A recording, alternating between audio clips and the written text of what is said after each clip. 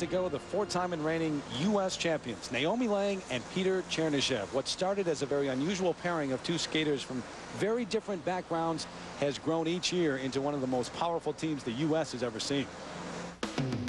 He wrote me a letter saying he saw me skate and asked me for a tryout. I was a junior skater. I was very young. For me, it was really easy. She looked really balletic. The rest is history. History.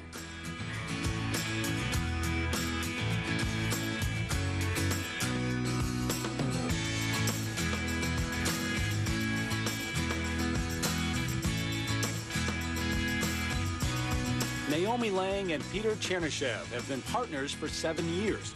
She's now 24, he's 31. They are four-time U.S. national ice dance champions. They share a love of ballet, which gives them a lyrical romantic style, but they bring two very different tales to the ice.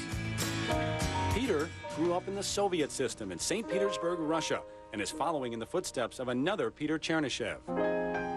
My grandfather actually introduced me to figure skating. He was uh, a great figure skater himself. He was four times uh, Russian national champion. I remember we spent lots of time just uh, at the outdoors rinks, just like me skating around, you know, just having great time in the winter.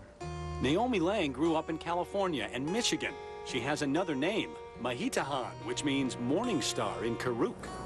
Native American. I'm very proud of it. Comes from my father's side. I remember as a little girl going to the powwows and uh, dancing around when they were singing, playing the drums, and it's, it's a vivid memory. Although Naomi's parents are divorced, her mother and biggest fan, Leslie Dixon, has always encouraged her to maintain her heritage.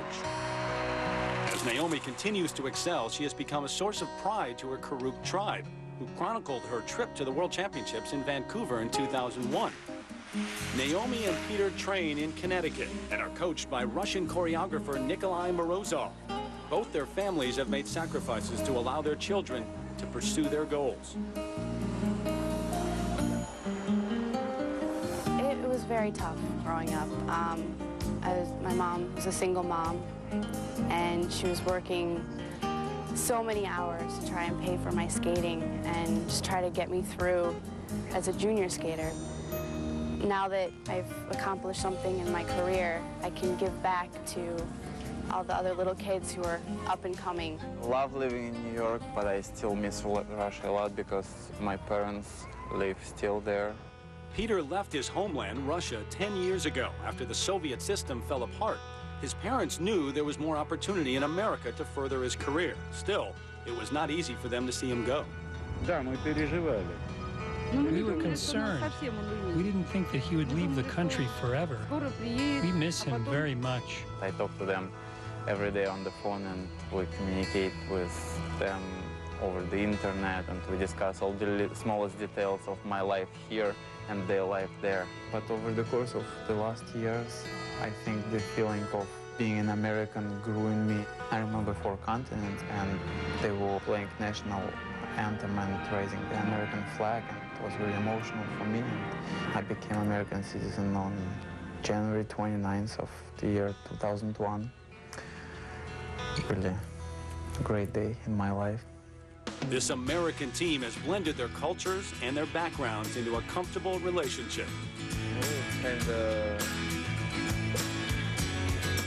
miracle that we even met in first place in this land of opportunity. Makes you believe that dreams do come true. Yeah.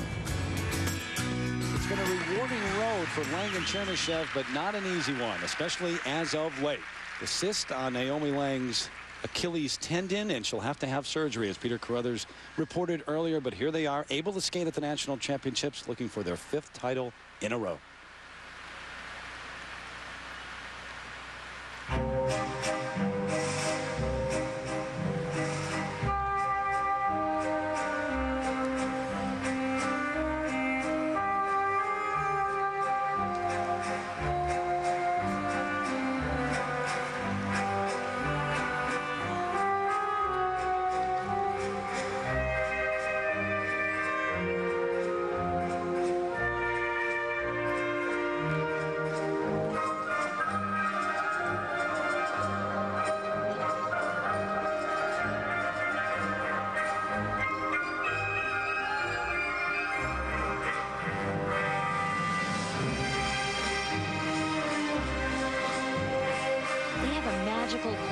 Quality about them. They're able to make things that are so difficult look so easy. They have an airy quality about their transitions, how they hold on to one another.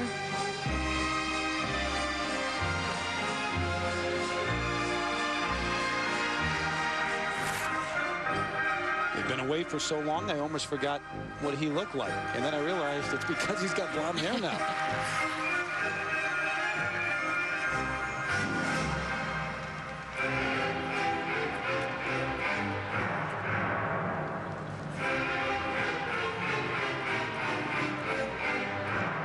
Been surprisingly calm when I spoke with them after one of the practices.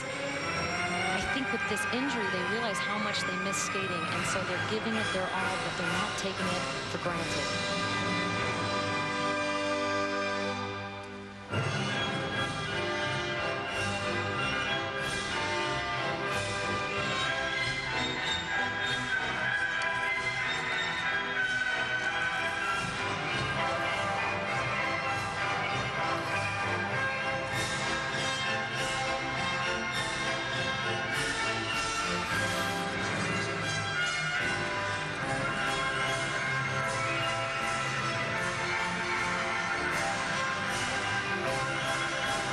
Difficult footwork. They're using all different edges, different turns, some of the unison not quite on the mark like I'm used to seeing.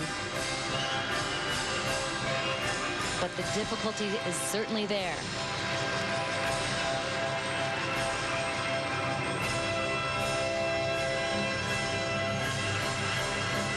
They make these lifts look so seamless. Beautiful exit out of their final dance lift. Very solid.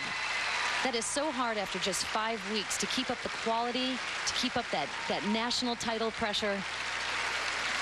Well, they told us they seem more focused because they've had to focus in so much on those five weeks getting ready for this one event. And uh, it certainly looked like it. Big smile on Naomi's face. Lang and Tchernyshev, the four-time gold medalists. The quality in their skating is apparent in every move. Her back so straight, their positions are so refined. She's in an attitude position. His feet are very close and tight on this dance lift. Fine technique indeed. In this Chevy Stroh motion, what's interesting is you can see the lack of unison between Peter Tchernyshev and Naomi Lang. His body is advanced ahead of hers on these twizzle turns, turns on one foot, and it's things like this that you don't notice when the skater is skating full out with speed. When you break it down, it's those little things that make the difference between winning a gold medal and not. Their flow into this dance lift, exceptional. I just love her posture. She's always right in position at the right time. There's no sort of getting into the position. They're both just right on the mark. I've seen a lot of flowers in the kiss and cry area, but none like that before. I don't think. Now, they've received six 6.0s at the U.S. Nationals during their careers. Not sure if they'll get one here, but composition marks 5.4 to 5.7. Some of these marks are a bit lower than what we're accustomed to seeing from them, and I think that is the judges are sensing that that conservative performance. Mm-hmm. Presentation marks now 5.5 all the way up to 5.9. No perfect six, but no doubt. Lang and Tchernyshev have the lead right now. When we come back,